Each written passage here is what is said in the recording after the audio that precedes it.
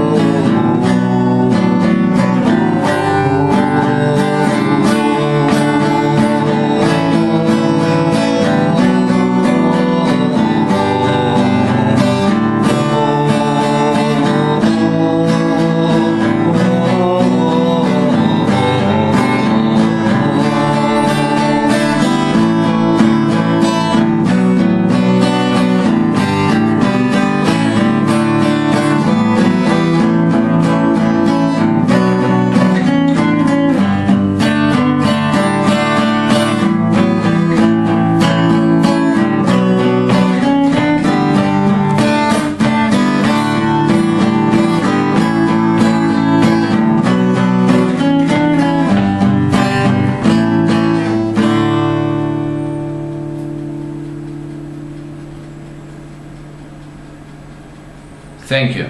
Let's continue. Yes. And uh, basically, we are doing now an interview for Jonathan Pollard for the release of Jonathan Pollard. We're Please God, Amen. Yeah, we're bringing attention to the incarceration of Jonathan Pollard to the American public and particularly to the Jewish community in America. That's right.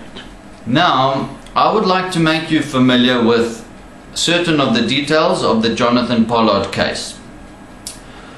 Jonathan Pollard was sentenced in 1987 for giving classified information to Israel. And that classified information has nothing to had nothing to do with the United States. It was only about something between Israel and some Arab countries. Exactly. Now, I would like to make you familiar with an article I read here. With an article I read here. Follow me, Avner, will you? So Yes. the people can see. Of course. This is an article written by David Zwiebel. Yes. Follow me, Avner. Yes, I do. Okay. This was written, okay, on my face yeah? Yes. All right, very good, Avner, very good. You can form me, and I'll make people familiar with this article that I've read. Yes. Uh, this was published in June of 1997, and it's a very interesting article, and it will make people familiar with what I can perceive as an injustice in this Pollard case. And uh, one must uh, remember, people should remember and people should be aware of the facts that Pollard was a dedicated US soldier Yeah. who did no harm to any US soldiers or to the US. Exactly. Yes. Okay, so basically, Pollard was indicted. Okay? At his indictment, he was accused of aiding a foreign nation. This was the charge against Pollard because in his time working for the Navy, he gave classified information to Israel, which he received payment for. But by the way, I personally haven't heard of any uh, spy who doesn't get paid for being a spy. Of course, yes. So, I mean, people do attract, countries do attract people to spy, let's say, so-called spy for them in uh, by offering them some kind of money. exactly. Al- Always uh, governments in the world offer people certain money or whatever the case. Um, it- you know, the government of America always said that Pollard did this solely out of the need for financial gain. I don't feel it's at all accurate to say something like that because the truth is Pollard is a Jewish person and the fact was that America was withholding information from Israel Yes. information about uh, Israel's enemies, the Arab countries, and uh, the fact that Pollard got paid for it. Okay, but uh, every spy gets paid for it. He never. Yes. The fact is, you know, um, uh, he never got millions for it. He got something like uh, thousands, and that's the situation. It's like, uh, you know, I don't know. Yes, so thousands of dollars It's not is not a same as, reason uh, for anybody to risk his whole life, his Exactly. freedom, his career. And he was a dedicated soldier, unlike the last couple of US presidents. Exactly, and the fact is that also, exactly as you say, Avner, that how did the different governments in the world get people to spy for them? Like they start paying the rent or something like that, or they start giving people money. This is very well known. Yes, That uh, that the fact is that that um, uh, all right, that's how people become spies. Maybe whether it's good or not that Pollard was a spy, we're not going to say if it was good or not. Yes, Let's- but he wasn't even a spy. I mean, he just even a spy. provided Israel with information about what goes on between Israel and its and the other Arab states, Exactly, which were hostile or which are hostile, or I don't know. what- Exactly, and its enemies. So, as I say, the fact that the government said, oh, Pollard did this for financial gain, he didn't have any other motives for this. I don't think it's fair to say. The, the fact is, yes, he did get paid, but um, generally people who do work as spies get paid because maybe it's considered as some kind of a work for them. I don't know. But hmm. anyway, the fact is, that's not really relevant because the only relevant thing in the Pollard case, according to my understanding, is that Pollard was indicted for giving sensitive information against the United States. Now, Yes. all of this appears, which is bullshit, actually. What what sensitive information and how is it against the United States? I mean, I just don't understand So- all that.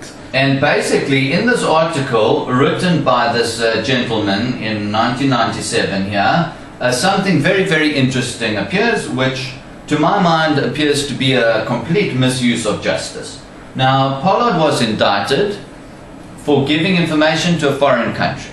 Yes. After Pollard had already plea bargained, okay, that meant he expected uh, leniency on his sentence, as does anyone who plea bargains. Of course, yes. Because why didn't Pollard take the thing to court and say, oh, he's not guilty, he's going to fight it, he wanted to help Israel, or whatever the case? He could have done anything like that, but he didn't. He plea bargained, he said he's guilty, that's it. So they indicted him for giving information to a foreign country. Now, instead of indicting him for wanting to harm the United States. So he was never indicted for, for har- posing a threat to the United States. Then he plea bargained. After the plea bargain, what happens is the government brings against him something called a victim impact statement, in which they say that now Jonathan Pollard, and I'm paraphrasing, has basically caused severe damage to the United States. They've jeopardized the United States with uh, the Arab countries, and and basically, sorry, that Pollard has caused severe damage to the United States. He has jeopardized the United States uh, relationship with its Arab uh, Arab uh, Uh, allies allies or whatever or foes, or yes. And Jonathan Pollard has caused damage in U.S. Israeli relations. Okay? After that, now Yes. this is after the plea bargain, right? Jonathan Yeah. Pollard is out of the game. He's already made the plea bargain. Now the government is bringing all these additional things to uh, against Pollard. Yes. Um, afterwards, okay, there's something called the Weinberger Declarations. Now, Caspar Weinberger, the Secretary of Defense, now submits a document, and I'm paraphrasing again. He accuses Pollard of, of high treason. He says that this is like the worst thing ever done by any spy. Um, so tell me something. How do you get wanting to help a foreign nation yes. from that to suddenly high treason. Yes, This is uh, completely ridiculous. And they brought all of this stuff against Pollard after he'd already submitted a plea and admitted his guilt. Now, um, this guy, David, who writes this article, says that it almost looks like the government wanted Pollard to plead guilty, and then it, it upped the stakes all the time, all the time, and made stronger, stronger uh, statements against him. Eventually, it basically changed the classification of Pollard's crimes to to a, a lesser crime to a much greater crime, and this is already after he'd already plea bargained. Yes. Now, to my mind, this is not at all just. It's not at all fair, and um, and the fact is that Pollard has already sat in jail for 28 years. Yes. Now, whatever you think, okay, about this case, even if you agree with my opinion or not, you would surely have the opinion that 28 years is enough time for anyone to sit in jail for anything. Uh, Well, yes, that's true for anything. Uh, I would agree with that, but there are people who do not agree. I mean, they, I mean, whether you can call them people or whatever, but uh, yes, Okay, the people who don't agree. Okay, but we would like to urge you in America to write to your congressmen and women and urge them, please, to write to President Obama to give Jonathan a pardon because Jonathan is in bad health, as everyone has heard, and we really feel that he has sat in jail for long enough. I don't even feel, and Avner doesn't feel it's fair that he sat in jail at all. That's Um, right, exactly. Okay? But whatever view you take, please remember something. You do not need to be afraid of jeopardizing your position in the American community that they'll ac- accuse you of dual loyalty. Okay? At the end of the day, we don't need to be afraid of the President of the United States. Hashem is our president, and Yes. Hashem is our judge, and it's at the end of time that we will have to give accountability to Hashem. That's right, Thank you. And besides, uh, Well, the US anyway spies on its own citizens. it became a dictatorship. So it is an absurd that the government, that regime which spies on its own citizens, uh, it still holds Pollard for passing information which had nothing to do with the US, but, but it was only between Israel and some of its enemies. Yes, that's true. I won't take uh, your view, Avner, that it became a dictatorship, but I do agree with you that it uh, uh, it started to spy on its citizens, and uh, there, you know, there were all these things after 9/11. Yes. I agree, or that were not good. Yes, the, all those excuses of of the yes of 911 or whatever they call it. Yes. Okay, so here's another song that I wrote. This song is actually called Jonathan. Yes. Okay.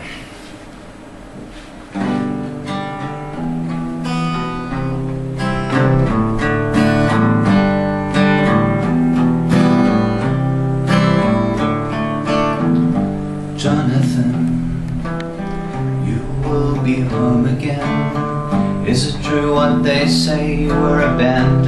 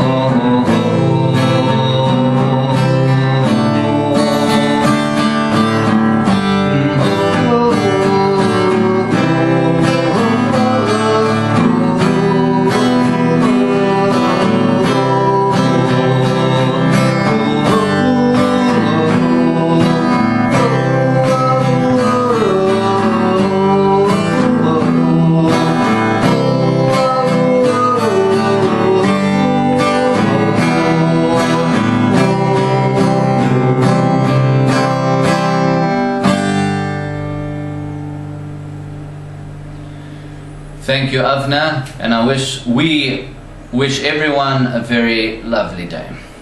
Yes, pleasant that's year. true. And of course, we pray for Pollard's early release as soon as possible. Amen. Please God, Amen.